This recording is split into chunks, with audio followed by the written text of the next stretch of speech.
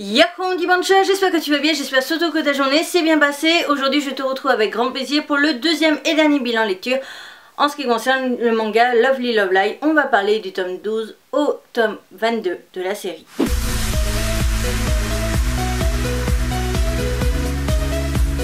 Le manga Lovely Love Live est un manga des éditions Soleil et donc la série est terminée en 22 tomes. Pour ce qui est des sous-catégories, pour ce qui est des dates de sortie du premier tome au dernier tome, je t'invite tout simplement à aller voir les précédentes vidéos. On est sur la troisième quand même. Par contre, en ce qui concerne la classification, oui, c'est un shoujo. Mais j'ai retiré ça du titre, l'information. Comme tu sais, je te mets souvent bilan lecture, crash test, enfin le thème de la vidéo, le titre du manga, le genre, donc shoujo, josei, yaoi, yuri, enfin yaoi, Yuri, Hentai, tout ça, tout ça. Et je te mets après la maison d'édition. Quand il n'y a pas le genre, c'est soit que je ne suis pas d'accord, soit qu'il y a un truc qui se passe. Et en ce qui concerne cette série, je te le dis déjà dans la première partie, c'est juste que la romance, oui, il y en a, mais elle n'est pas très très présente. En fait, elle est presque équivalente, légèrement plus présente peut-être, mais aussi équivalente qu'à Naruto ou un truc comme ça. Voilà, shonen quoi en fait. Hein, euh. Certes, il y a deux personnages qui sont ensemble, Certes, on les voit de temps en temps s'embrasser, mais ce n'est pas euh, le, sujet phare de la série. Le sujet phare, c'est la musique, et uniquement la musique. Oui, il y a deux personnages qui sont ensemble, mais sur 22 volumes, tu vois pas 22 kiss, tu vois pas 22 euh, je t'aime et je suis fou de toi, non. Donc c'est pour ça qu'il n'y a pas shoujo dans le titre. Et enfin, que j'ai retiré shoujo du titre. Voilà, je tiens à préciser, c'est juste que dans ces cas-là, c'est juste que je suis pas d'accord avec la classification. Là, c'est pas vraiment que je suis pas d'accord, c'est juste que, bah oui, c'est un shoujo, oui, il va plus attirer des filles, soi-disant, mais euh, honnêtement, euh, la romance, elle est pas très très très présente, quoi. Donc, euh, pour ceux que ça pouvait déranger, ça va parler principalement de musique. C'est tout. Hein, je tenais à préciser parce que bah, je préfère quand même réinsister de temps en temps du pourquoi et des fois il n'y a pas la catégorie. C'est pas que j'oublie. On attaque donc la vidéo avec mon avis sur la qualité des couvertures. Je te dirais très clairement que dans l'ensemble, je les ai toujours surkiffées. On a toujours ce principe de une image rouge, une image en fond. Ça, c'est quelque chose que j'apprécie. Par contre, il y a un gros truc qui m'a énormément dérangé. C'est la tranche du manga. Parce que je vais t'en mettre d'autres au hasard volume. Tout est rouge, sauf le dernier tome. Et honnêtement, je trouve ça d'un lait dans une étagère. Je vais te mettre une photo. J'ai fait une photo pour faire ma vente. Je trouve ça d'un lait d'avoir tout en rouge. Et ils te viennent te péter le truc avec un tome qui, n'est euh, qui ne va pas avec. Ça, c'est vraiment le truc que je déteste par-dessus tout.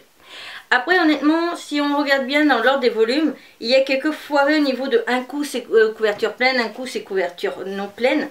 Donc le tome 12, 13 ça va, 14 ça suit, 15 et 16, 17 ils sont tous les trois rouges. Alors certes on est plus ou moins sur un côté plein sur le tome 16 mais on voit pas trop la différence donc j'ai été un petit peu déçue là-dessus. 18, 19, 20 ouais, ça reste dans sa longueur, 21 aussi mais c'est le tome 22 euh, qui m'a énervé par rapport à son rendu esthétique parce que ça ne va pas. Voilà. Je te montre tout ça en image, l'avant, l'arrière des jaquettes. Pour l'intérieur, on a toujours le même principe. Au niveau de l'intérieur, c'est assez répétitif. Et voilà ce que j'aurais à te dire en ce qui concerne les couvertures. Mais je les adore. À part ce tome 22 que je ne peux pas me voir. C'est peut-être aussi pour ça qu'à chaque fois, j'ai pas arrêté de penser et de dire sur d'autres vidéos que la série était en 21 tomes et pas 22.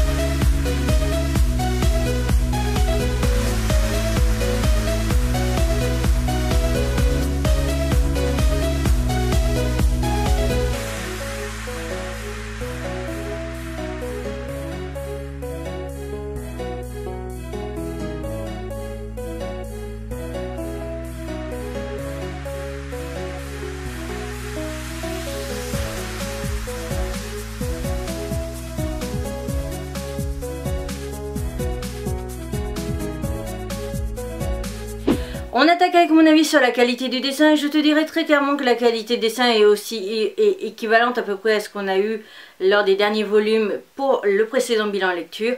La qualité des dessin s'améliore petit à petit, mais ce n'est pas non plus quelque chose de très flagrant. Si je regarde le tome 12 et le tome 22, je le vois qu'il y a une différence, qu'il y a une amélioration, mais ça va pas non plus me taper à l'œil. C'est parce que je connais les personnages, parce que je sais comment l'auteur a dessiné toute sa série que je peux voir la différence. Pour ce qui est de mon avis sur la série, donc comme je l'ai expliqué, au final, au début, oui, les deux premiers tomes, 3, quatre premiers tomes, on voit vraiment un petit peu l'amour entre les deux personnages, mais c'est le début de l'aventure, c'est aussi la peur et le début de leur relation. Mais en soi, après, dans les 22 tomes, on n'a pas non plus un manga qui va être très concentré sur le, euh, la romance, mais on est plus concentré sur la musique.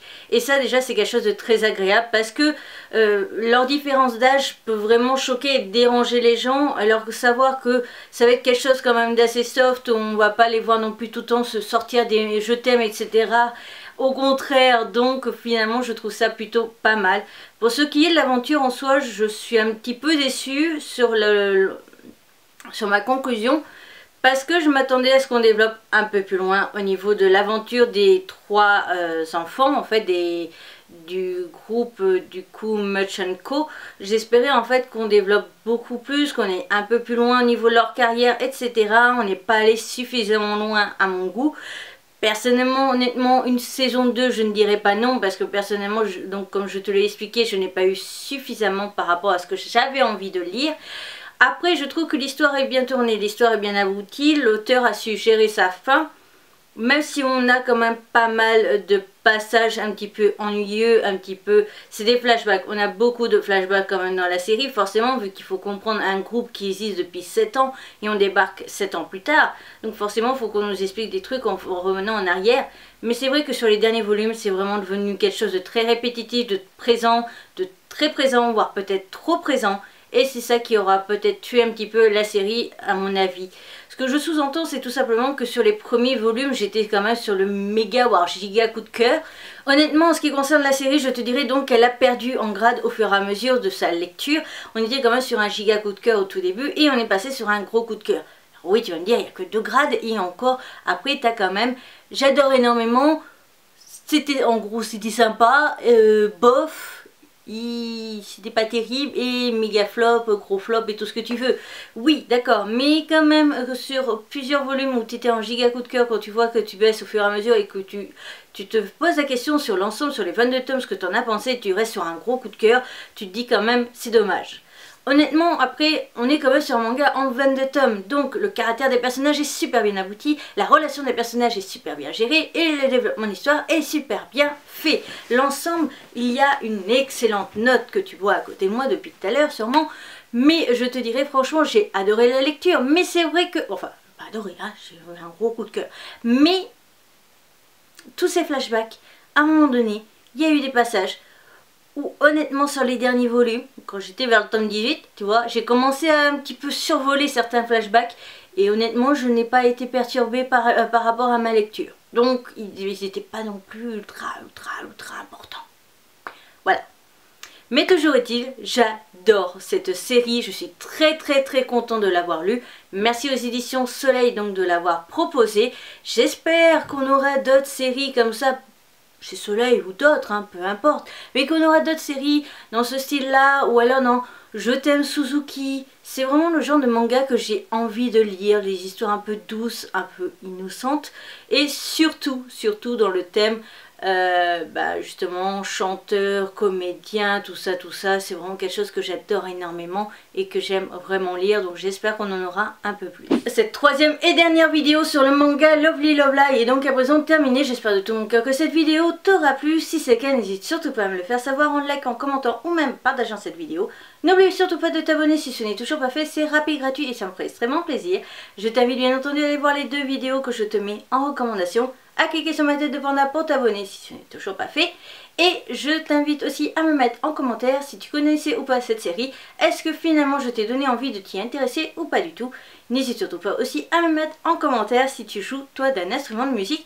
Personnellement j'ai joué du piano et j'ai fait un petit peu de guitare. Mais j'ai principalement fait du piano. Les deux je les ai arrêtés principalement parce qu'on me forçait à vouloir me mettre en compétition. Sur ce, à bientôt